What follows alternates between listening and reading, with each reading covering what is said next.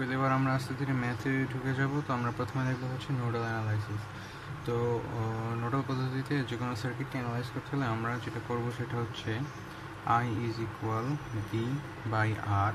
আমরা কারেন্টকে আমরা কারেন্টকে ক্যালকুলেট করব এবং কারেন্টকে আমরা আই ফর্মে না লিখে ভি বাই আর ফর্মে লিখে ক্যালকুলেট করব। এবং সাপোজ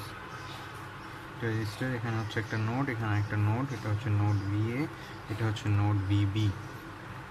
তো আমি যখন নোড ভিএ কে ক্যালকুলেট করব,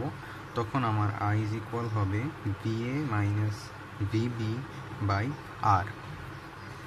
okay আবার যখন আমি এরকম সেম জিনিসটাতেই, আমি যখন নোট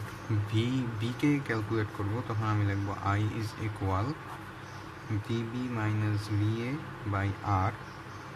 তো কারেন্ট সাধারণত হাই ভোল্টেজ থেকে লো ভোল্টেজের দিকে মুভ করে। তো আমরা ক্যালকুলেট করার সময় যে নোটটা ধরে ক্যালকুলেট করব, আমরা ধরে নেব যে সেই নোটটার ভোল্টেজ হচ্ছে হাই ভোল্টেজ বাট আমরা তো অ্যাকচুয়ালি জানি না এটা হাই ভোল্টেজ না লো ভোল্টেজ তো ক্যালকুলেশন শেষে যখন আমাদের ভোল্টেজের ভ্যালুগুলো বের হবে, তখন যদি দেখি যে ভ্যালু নেগেটিভে আসছে, তার মানে ধরে নিব যে আমি যে এটাকে হাই ভোল্টেজ ধরেছিলাম, আসলে এটা হাই ভোল্টেজ না, এটা লো ভোল্টেজ বাট আমরা এটা প্রথমে জানতে পারব না লাস্টে জানতে পারব। তো সব ক্ষেত্রে আমরা যখন যে নোট ধরে নিব। সেই নোটের ভোল্টেজকে আমরা হাই ভোল্টেজ ধরবো এবং অপর সাইডে যে নোট থাকবে, একটা ইয়ের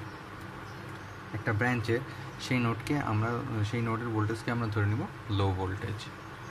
ওকে পরবর্তী ভিডিওতে আমরা একটা সলভ করব প্রবলেম থ্যাংক ইউ